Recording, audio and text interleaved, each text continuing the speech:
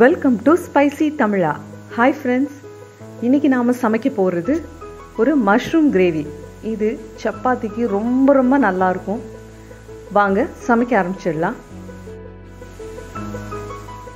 ரெண்டு டீஸ்பூன் எண்ணெய் ஊற்றிக்கிறேன் ஒரு டீஸ்பூன் ஜீரகம் இது பொரிஞ்சதுக்கு அப்புறமா கட் பண்ணி வச்சிருக்கிற வெங்காயம் சேர்த்துக்கிறேன். ஒரு பச்சை மிளகாய் அதையும் சேர்த்து நல்லா வதக்கிக்கிறேன். வெங்காயம் நல்லா வதங்கினதுக்கு அப்புறமா ஒரு தக்காளியை அரைச்சி வச்சுருக்கேன். அதை சேர்த்து நல்லா வதக்கிக்கிறேன்.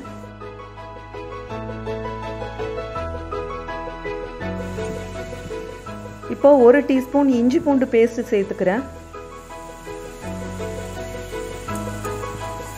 இது பச்சை வாசனை போகிற அளவுக்கு வதங்கிடணும்.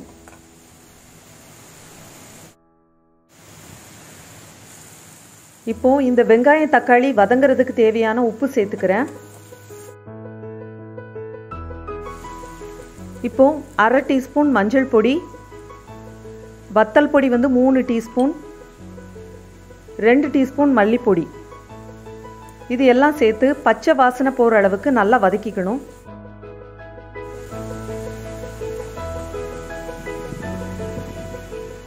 இப்போ கட் பண்ணி வச்சிருக்கிற மஷ்ரூம் சேர்த்து நல்லா வதக்கிக்கிறேன்.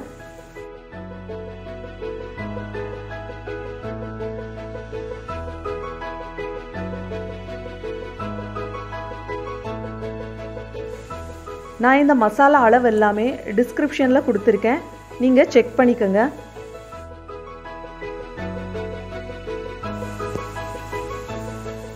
இப்போ நல்லா வதங்கிருச்சு.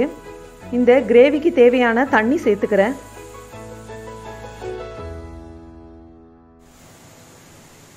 இது செமி கிரேவியாக தான் நான் வைக்க போகிறேன் அதனால் கம்மியாக சேர்த்துருக்கேன். உங்களுக்கு வேணும்னா தண்ணி வந்து ஜாஸ்தி சேர்த்துக்கோங்க.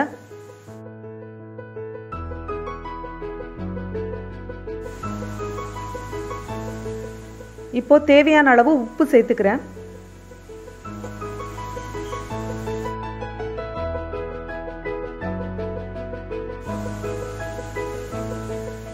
இப்போ கிரேவி முக்கால்வாசி ரெடி ஆயிடுச்சு. இப்போ ஒரு டீஸ்பூன் சீரக பொடி சேர்த்துக்கிறேன்.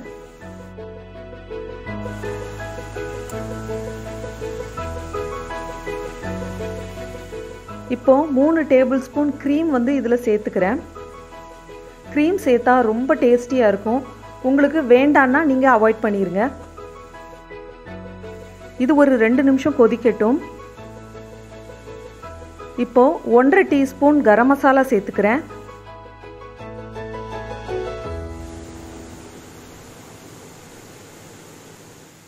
இப்போ கிரேவி தயாராகிடுச்சு இறக்கிறதுக்கு முன்னாடி கொஞ்சமாக சுகர் தூவி இது வந்து இறக்கிக்கலாம். சுகர் சேர்த்திங்கன்னா ரொம்ப டேஸ்ட் வந்து ரொம்ப நல்லாயிருக்கும்.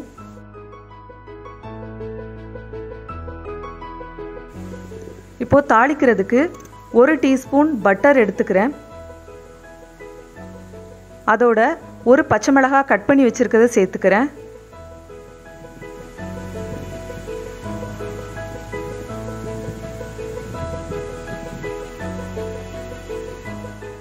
கொஞ்சமாக மல்லி இலை இப்போது கருவேப்பிலை. இது எல்லாம் சேர்த்து நல்லா வதக்கிக்கலாம்.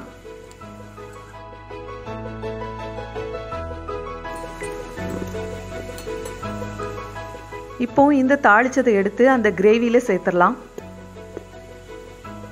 சேர்த்து நல்லா கலந்து விட்டுருங்க. நீங்களும் இந்த ரெசிபியை வீட்டில் ட்ரை பண்ணி பார்த்துட்டு எப்படி இருந்ததுன்னு கண்டிப்பாக சொல்லுங்கள் ஃப்ரெண்ட்ஸ் இந்த ரெசிபி உங்களுக்கு பிடிச்சிருந்ததுன்னா லைக் பண்ணுங்கள் ஷேர் பண்ணுங்கள் மறக்காமல் நம்ம சேனலை சப்ஸ்கிரைப் பண்ணுங்கள் அப்படியே பக்கத்தில் இருக்கிற பெல் ஐக்கானையும் கிளிக் பண்ணுங்கள் திரும்பவும் அடுத்த வீடியோவில் நான் உங்களை சந்திக்கிறேன். வணக்கம்.